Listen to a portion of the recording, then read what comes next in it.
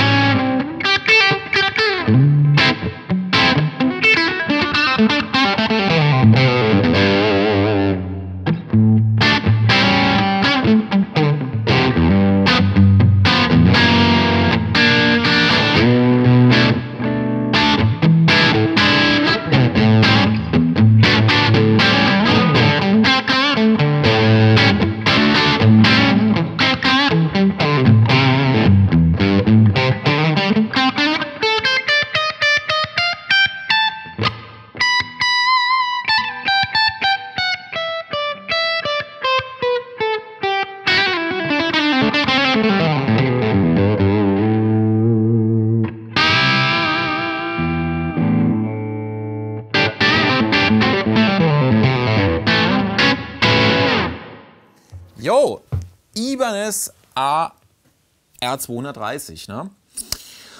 Und die ähm, AR oder beziehungsweise Artist-Serie von Ibanez ähm, ist eine Gitarre, die sich, wie man schwer ähm, natürlich, wie sich schwer nicht erkennen lässt, äh, an der Gitarre orientiert, ähm, die man ja, von einer anderen Firma her natürlich auch irgendwo kennt. Das heißt, ähm, ihr habt natürlich eine Gitarre, die so ein bisschen sich an einer ähm, Les Paul orientiert. Ja. Ähm, das heißt, ihr habt also ein, eine Gitarre, die aus einem Mahagoni Korpus mit ähm, Ahornhals, ja, das ist so ein bisschen unterschiedlich. Das heißt, ihr habt also keinen Mahagoni-Hals, sondern ihr habt einfach einen Ahornhals auch dran. Ähm, ein Palisander-Griffbrett drauf und jeweils drei links, drei rechts Stimmmechaniken, das man ja auch von äh, einem besagten Vorbild irgendwoher kennt. Und ansonsten ähm, habt ihr zwei Humbucker am Start mit einem Toggle, die man natürlich in einer ähm, altbekannten Weise verschalten kann. Ne? Ähm, auch zwei Volume, zwei Tone Potties und ähm, was eine Besonderheit an den ähm, Gitarren hier an der AR ist, ihr habt nicht nur eine Single-Cut-Gitarre, sondern ihr habt einfach eine Double-Cut. Ne?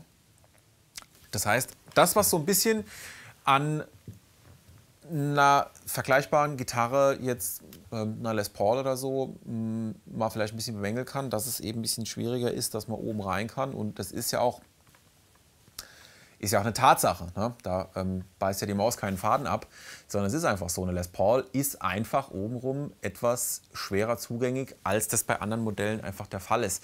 Ähm, ist jetzt unabhängig, ob es eine Strat ist oder ob es eine andere Kopie ist oder sonst irgendwas. Ähm, diese Single-Cut-Form ist einfach, egal bei welcher Marke man guckt, ähm, ist einfach obenrum ein bisschen unzugänglicher, einfach weil der Daumen hier weiter vorne hängt, als dann der Rest von den Fingern irgendwo spielt. Ne? Und bei einer ähm, Gitarre, die auf sowas basiert irgendwo, aber dann halt eben eine Double Cut ist, ähm, kriegt man das Problem halt einfach viel, viel einfacher in den Griff. Ne? Das heißt also, ihr habt hier wirklich einen super Zugriff bis in die höchsten Lagen. Das lässt sich hier alles super geil spielen, ähnlich wie ihr das bei einer SG auch habt. Ne?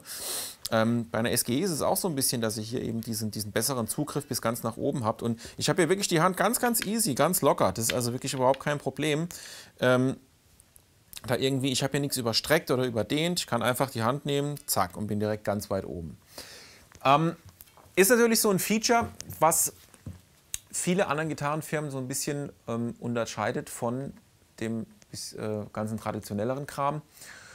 Und ähm, spricht natürlich auch in erster Linie Spieler an, die zwar gerne auf so ein bisschen wärmeren, dickeren, mittigeren, fetten Mahagoni-Ton irgendwo stehen, ähm, aber die halt eben genau diese Probleme mit dieser ähm, Bespielbarkeit haben. Ne? Ähm, auch der Hals bei der ähm, Gitarre hier ist relativ, ja, ich will nicht sagen extrem flach, also ihr habt schon ein bisschen was in der Hand. Ja? Es ist auch nicht wie bei einer RG oder bei, wie, wie bei einer S. Ähm, Ibanez, sondern es ist schon ein bisschen dicker. Es wird auch hier oben zu ein bisschen, bisschen steifer, ja, wenn er nach oben geht. Ähm, aber der Hals ist ein recht ähm, benutzerfreundlich, ja, ist recht benutzerfreundlich gestaltet. Ne? Ähm, Gitarre ist natürlich komplett lackiert, ne? ist so ein Feature. Ich persönlich stehe mehr auf Gitarren, die hinten so ein bisschen abgewetzt sind, damit es einfach ein bisschen mehr läuft. Ähm, trotzdem, ich habe die Gitarre jetzt eine Zeit lang gespielt und ich muss sagen, ähm, irgendwann so ab einem gewissen Punkt ist es dann wirklich so, mh, hm, ja, interessiert mich dann irgendwann ehrlich gesagt auch nicht mehr, ob die Gitarre dann wirklich einen lackierten Hals hat oder einen äh, äh, ein bisschen abgewetzteren Hals oder abgeschliffenen Hals, dass es so ein bisschen mehr, mehr flutscht hinten. Ne? Naja, egal. Ansonsten sehr, sehr geile Inlays, muss ich sagen, hat die Gitarre. Ja, also wenn ihr euch das mal wirklich anguckt, ihr habt hier richtig coole äh, Abalone-Inlays. Ne? Also sieht obergeil aus. Da lassen sich die Jungs also nicht lumpen da von Ibanez, da richtig was reinzulegen. Wirkt auch so richtig bisschen, wenn man so ein bisschen näher dran geht, so ein bisschen dreidimensional, ne, die Einlagen. Also wirklich eine coole Sache. Jetzt kommen wir noch zu einer Sache und zwar, ihr habt hier nämlich auch ein Feature dran. Ihr seht hier diese zwei Kippschalter und ähm, diesen, mit diesen Kippschaltern könnt ihr nämlich ähm, jeweils die, die Pickups nochmal bearbeiten, ja? indem ihr hingeht und beispielsweise, wenn ihr jetzt im ähm, cleaneren Bereich unterwegs seid, könnt ihr jetzt hingehen und sagen, okay.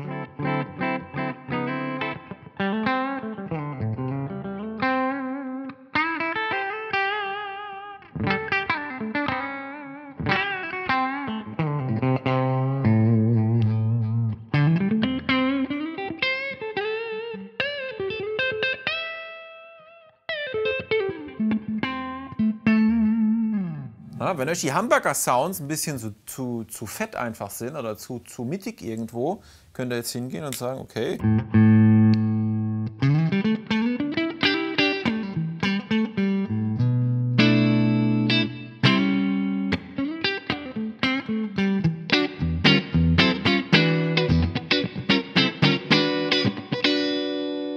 Genauso unten.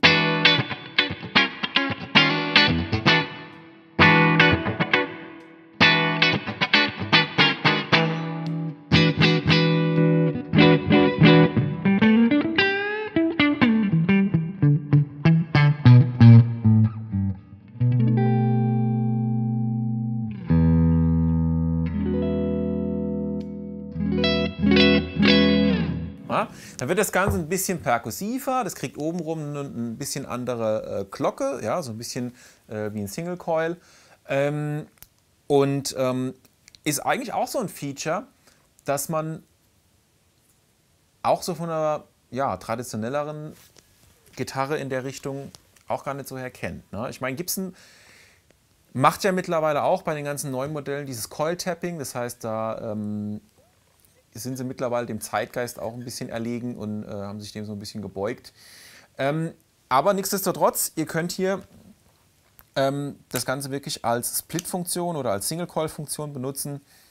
Funktioniert einwandfrei. Ansonsten ist es auch so, die Gitarre ist natürlich vom Design her auch so ein bisschen mehr, ähm, auch optisch ein bisschen an diese ganzen klassischeren, älteren Gitarrenmodelle angelegt. Das heißt, also die Gitarre ist jetzt wirklich so, äh, ja, hat so ein bisschen Vintage-Look, ne? muss man schon sagen. Also das hat so nicht der diesen, diesen typisch modernen Ibanez-Stil, sondern ist schon so ein bisschen an ähm, diesen ganzen Vintage-Look angelehnt. Ne? Jo, ansonsten kommt die Gitarre wirklich sehr, sehr edel daher, auch mit goldener äh, Hardware.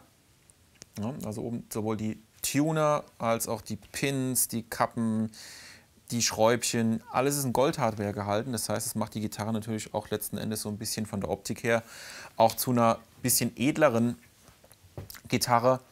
Und ähm, ja, ähm, was natürlich auch funktioniert, aufgrund dessen, dass natürlich Humbucker dran sind, ihr könnt natürlich auch mit der Gitarre im High Gain unterwegs sein, das ist kein Problem, ne? hat jetzt mit der Optik mal nichts zu tun.